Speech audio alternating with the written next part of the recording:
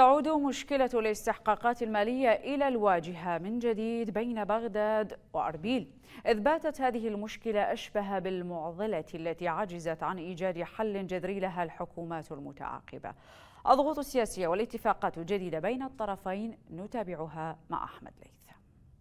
في الوقت الذي تعمل به الحكومة المركزية على تنظيم علاقتها بحكومة أربيل تعود مجددا مشاكل الاستحقاقات المالية وقضية رواتب موظفي الإقليم وتسليم الإيرادات النفطية بمواقف جديدة تخالف الاتفاقات الموقعة سابقا. هنالك سقف عالي دائما ما يصدر من أربيل باتجاه بغداد الذي لا تستطيع السلطة التنفيذية من إحراجها السياسي وإحراجها الدستوري أن تلبي كل طلبات إقليم كردستان وبالتالي الضاغط لا يزال مستمر من إقليم كردستان باتجاه السلطة الاتحادية.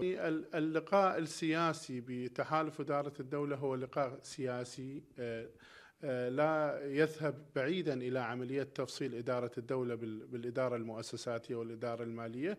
الإقليم يحاول الضغط على الحكومة الاتحادية برفع قيمة حصته في الموازنة المقبلة بطريقة ليست علنيه. من خلال مطالباته بإضافة مستحقات رواتب موظفيه فوق الأموال التي ترسل إليه شهريا من حكومة المركز يقول مراقبون مشكلة الرواتب. الإقليم آه، يحاول أن يفصل موضوع الرواتب عن موازنة الإقليم.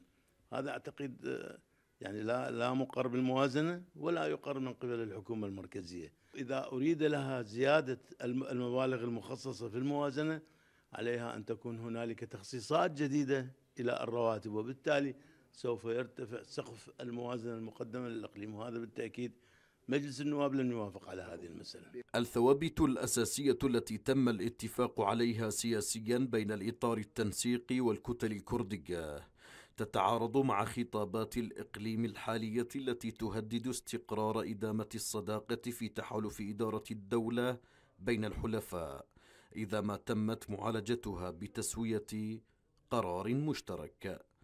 أحمد ليث بغداد. قناة الرابعة.